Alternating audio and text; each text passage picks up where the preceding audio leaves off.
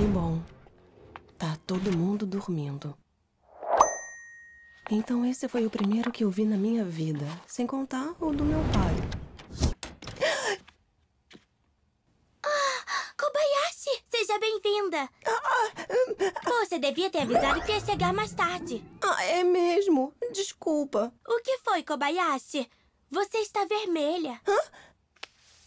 Será que é febre? É, o que que foi? Ai, por que que o meu coração acelerou só de ver a Toru desse jeito? Não me diga que eu tô com tesão pela Toru. Nesta cena, Lulu havia transformado Kobayashi em homem. E por isso ela não queria ter contato com ninguém, depois de perceber que ficou com tesão só de ver a Toru de toalha. Mas no dia seguinte o que não faltou foi situações que deixassem ela coladinha nas outras garotas.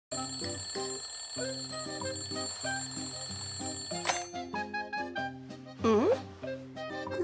É Kana! Ah, oi, bom dia, Kobayashi. O que que houve? Achei que fosse estar com frio. Ah! É, eu- eu já acordei. É, Tá legal? Já acordei. Hum, numa situação dessas, só Deus sabe o que pode acontecer. É melhor manter distância delas. Será que a Toru conseguiria dar um jeito nisso? O quê? A Kobayashi virou homem? Então vamos mandar ver. Eu preciso preservar a minha espécie. Que perigo. E agora, crianças, nós vamos Que que você tá assistindo? na canoa da aventura. E quem estiver assistindo de Oh. casa, vem com a gente. Hum? Estão prontos? Hã? Todo mundo remando. É uma cachoeira! Temos que nos encolher! Ah!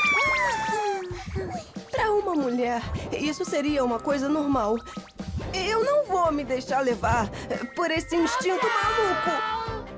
Kobayashi! Não sai me abraçando assim! Kobayashi! Não se esfrega em mim! Kobayashi!